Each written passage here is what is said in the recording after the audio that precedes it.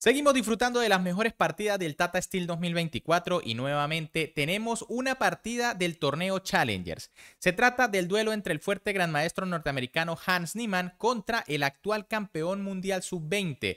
Por supuesto, hablamos del gran maestro francés Macandria Maurizi, jugador que ya tuvimos de hecho en, el video anterior porque posiblemente firmó la primera partida inmortal en lo que va de este año 2024. Una verdadera joya espectacular en donde el francés derrotó de manera aplastante al fuerte gran maestro español Jaime Santos, quien, bueno, en este torneo está siendo víctima de partidas realmente extraordinarias. Si no han visto esa partida, por cierto, por acá la tienen en una tarjeta. Vayan a verla porque es espectacular. El tema es que, bueno, estos dos jugadores ya se habían enfrentado en el Campeonato Mundial Sub-20, si mal no recuerdo, hicieron unas tablas. Sin embargo, aquí las cosas fueron muy diferentes. Así que quédense hasta el final y disfruten de la partida porque tendrán la tabla de posiciones actualizada tras la ronda número 6.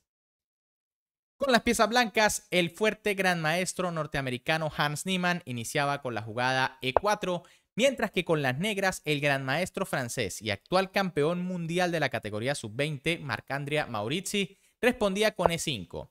Caballo F3, caballo C6, alfil C4, tenemos una apertura italiana, caballo F6, defensa de los dos caballos, D3 y ahora D5. Bueno, Maurizi jugando aquí bastante agresivo, ¿no? Y es que lo más normal últimamente contra esta variante de la italiana es alfil C5, simplemente desarrollando las piezas y tras caballo BD2, D6, ¿no? Con una posición muy sólida.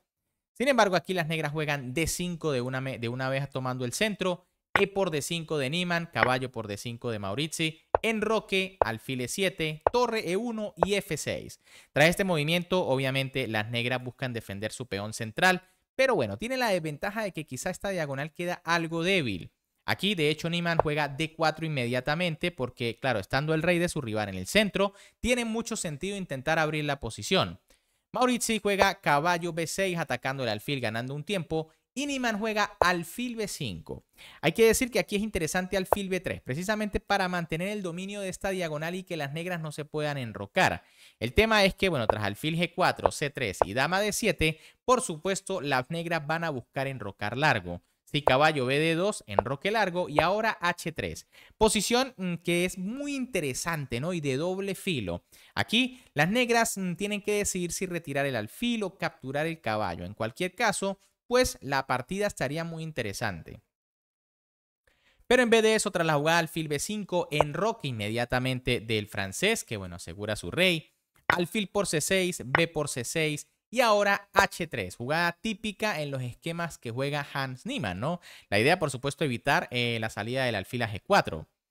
Sin embargo, era un poquito mejor D por E5, muy interesante. Tras dama por D1 viene torre por alfil G4. Ojo que si F por E5 vendría caballo por E5. Y bueno, no está claro, pero las negras deben tener compensación por la pareja de alfiles, ¿no? Pero tras alfil G4 vendría caballo BD2 y de nuevo, una partida bastante pareja. Tras H3, que bueno, tampoco es que sea mala en lo absoluto, torre E8 por parte del gran maestro francés, D por E5, dama por D1, torre por D1, F por E5, caballo por E5 y alfil F6. Las blancas tienen un peón de ventaja, tienen mejor estructura de peones. Sin embargo, la posición está sumamente abierta y además las negras, aparte de tener la pareja de alfiles, que es muy fuerte en este tipo de posiciones, también tiene clara ventaja de desarrollo, pues animan todavía le hace falta desarrollar el caballo de B1, el alfil de C1, y de hecho tras el último movimiento negro, pues quizá el alfil no se pueda desarrollar tan fácilmente por el tema que hay sobre B2. Niemann por eso decide jugar caballo D3 defendiendo el peón de B2, Aquí también era posible caballo por C6, pero bueno, ya parece arriesgado, ¿no? Y es que los dos alfiles se pueden activar muy rápido, por ejemplo, con alfil B7, cruzando completamente el tablero. Por eso Niemann juega caballo de 3 defendiendo en B2, alfil F5 por parte de Mauricio atacando el caballo para, bueno, si el alfil sale, alfil por caballo seguido de alfil por B2. Y ahora A4 por parte del norteamericano. Posiblemente era mejor desarrollar una pieza con caballo A3. Como les dije, las piezas blancas todavía no se han desarrollado completamente. Tras torre a B8 vendría torre B1 y bueno, se quitan las blancas del rayo X, defienden el peón y poco a poco van sacando las piezas. Si logran quedarse con el peoncito, van a tener ventaja material en el final. En vez de eso, tras la jugada 4, caballo C4 por parte del gran maestro francés, que por supuesto busca la actividad de las piezas. Caballo D2, caballo por D2, alfil por D2, alfil por D3, C por D3 y alfil por B2. Las negras han recuperado material. Aquí Niman juega torre a B1 y tras alfil D4, rey F1. En esta posición las blancas deberían tener una ligerísima ventaja debido a la mejor estructura de peones. Si bien es cierto que las blancas también tienen debilidades en D3 y en A4, pues las negras tienen par de peones doblados en C, otro peón aislado en A. La única ventaja de las negras quizá es que el alfil está más activo que el de Niemann. Aquí el gran maestro francés juega torre F8 buscando atacar, por supuesto, el peón de F2. F3 por parte de Hans Niemann defendiendo, torre a D8, torre DC1 y C5. Con este movimiento las negras aprovechan para defender el peón y al mismo tiempo defender el alfil. Pero Niemann también aprovecha para jugar torre B7 y bueno, parece que las blancas poco a poco van ganando actividad. Aquí Maurizi juega torre F7 para defender el peón de C7 y Niemann juega torre por A7. Quizá una jugada un tanto apresurada, ¿no? Si bien el peón está gratis, le va a quedar un peón libre, la posición resultante va a ser compleja. Aquí quizá un poquito mejor era alfil E1, ¿no? Sencillamente echando el alfil para atrás para venir a la casilla G3. En caso de C6 puede venir torre B3, manteniendo piezas para jugar contra esa mala estructura de las negras. En cambio, tras torre por A7, C4 por parte de Maurizi en esta posición, atacando eh, a la torre blanca, es decir, un ataque a la descubierta. También ataca el peón de D3. Torre B7 por parte de Niemann, que bueno, parece abrirle paso a su peón. C por D3, las negras simplemente recuperan el peón, se quitan la debilidad de los peones doblados. Y ahora A5. En este momento también es posible torre C por C7, ¿no? La idea, bueno, no dejarle a las negras esos peones que, bueno, quedarían pasados y de paso unidos. El tema es que tras torre por, torre por y torre B8, esta posición debería estar igualada. Lo que pasa es que, bueno, quizá las blancas deben jugar o pasivo regresando la torre porque les amenazan mate o quizá un poco más activo con G4, ¿no? Para darle salida al rey. Igual deben tener cuidado por el tema de torre B1, torre 2, así que es complicado todavía la cosa aquí.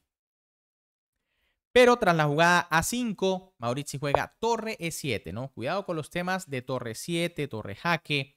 Niemann decide jugar torre 1 para cambiar una torre, torre E de 7, torre B3 atacando el peón, alfil A7, torre B7, alfil D4 y torre EB1. Nuevamente vemos en esta partida el espíritu de lucha de Hans Niemann. Aquí fácilmente el norteamericano hubiese podido jugar torre B3, ¿no? De nuevo atacando el peón, alfil A7 y bueno, torre B7. Y si las negras quieren ganar, deben buscar algún tipo de jugada, pero en realidad lo mejor es volver para las tablas.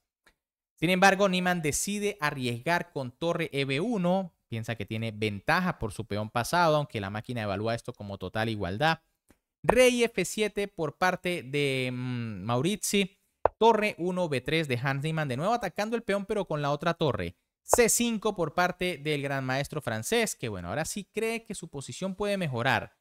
Torre, eh, perdón, A6 por parte aquí de Hans Niemann. Ojo que aquí capturar el peón sería un error porque la torre está en el aire, ¿no?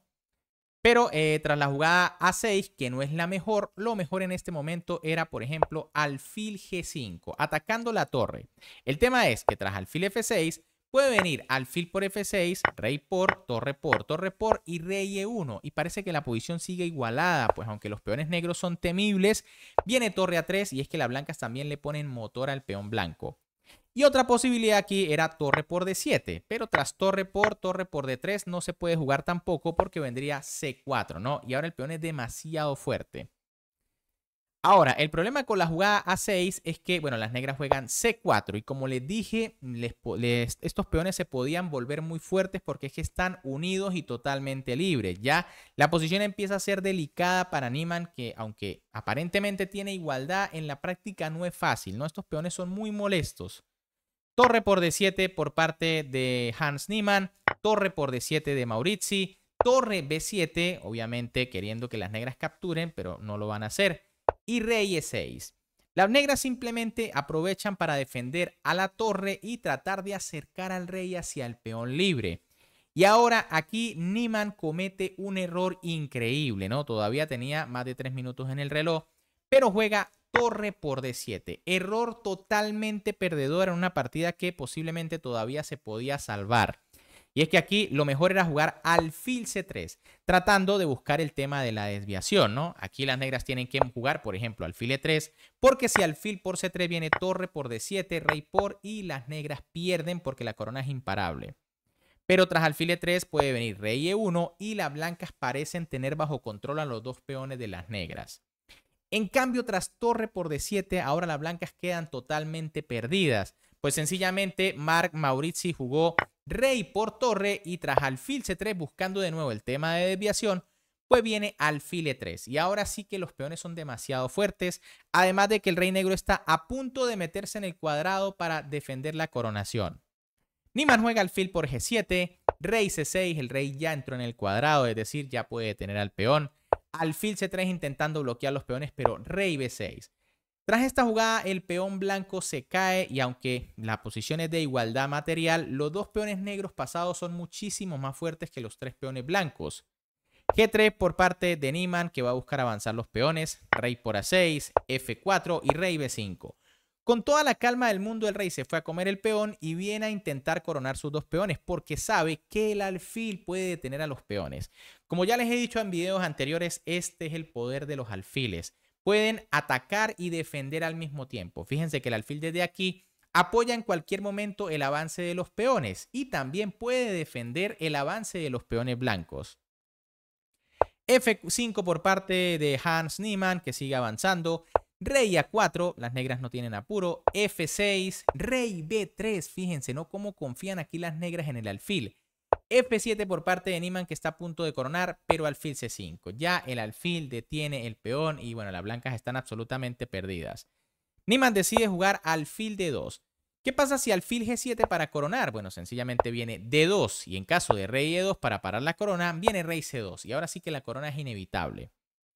Por eso el norteamericano juega alfil D2 para intentar evitar que el peón avance, pero C3, atacando el alfil. Y ahora rey E1.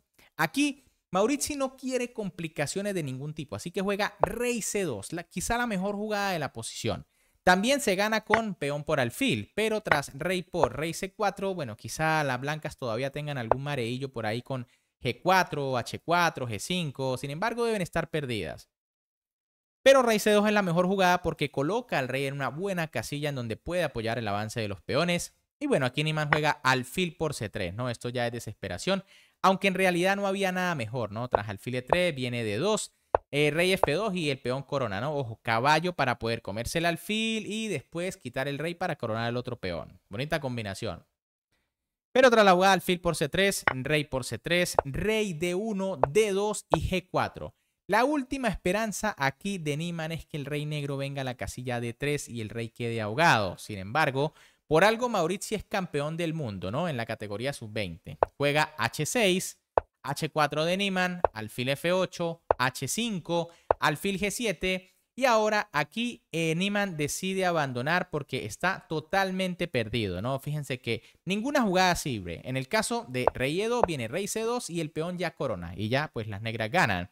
Y en caso de que jueguen G5 para seguir moviendo peones, pues viene H por G. Y tras H6 Alfil por H6. Como les dije, aquí no hay ahogado, porque aunque el peón corone, el alfil puede capturar y el rey tiene salida por E2. Tras rey C2, ya el peón corona y las negras nuevamente ganan. Bien amigos, ¿qué les pareció esta partida? En esta ocasión, pues Hans Niemann no tuvo revancha en el sentido de que, bueno, recuerden que se enfrentaron en el sub-20, Mauricio hizo tablas, pero terminó ganando el torneo. Así que bueno, Niman encaja otra derrota. Recuerden que ya había perdido contra la jovencita Elaine Roberts, ¿no? Que está sorprendiendo porque de hecho volvió a ganarle a otro jugador mucho más fuerte que ella en teoría, según el Elo. Así que muy atentos porque también voy a estar subiendo esa partida. De momento por acá tienen el standing del torneo Challengers tras la ronda número 6. Perdón, sí, 6. Lo que pasa es que aquí se ha ido actualizando porque ya se está jugando la 7. Está Salem con 5 de 7, Leami con 4 y medio de 6, Corobó con 4 y medio de 7, Mark Maurici con 4 de 6, todavía está jugando. Luke eh, Mendonca de la India con 4 de 7, Daniel Darda 3 y medio, ya hizo tablas con Niman 3 y medio de 7. Liam Brolik 6, eh, Jaime Santos, que bueno, ha sufrido en este torneo 3 puntos de 6. Harika Dronavali 3 de 7, Mustafa Yilmaz 2,5 de 6, Elaine Roberts 2 de 7, ¿no? Stefan Bugman 2 de 7 y en el último lugar la jovencita Deshmukh Divya con 1,5 de 6. Jugadora que, bueno, allí sorprendió de manera brutal a Jaime Santos, pero bueno, es un torneo muy fuerte y todavía le falta quizá un poco de experiencia. Así que si les gustó esta partida, como siempre, me pueden apoyar dándole un buen like al video, suscribiéndose al canal y activando esa campanita para que no se pierdan las partidas que quedan de este espectacular torneo. Un gran saludo para todos, se me cuidan y nos vemos en el próximo video.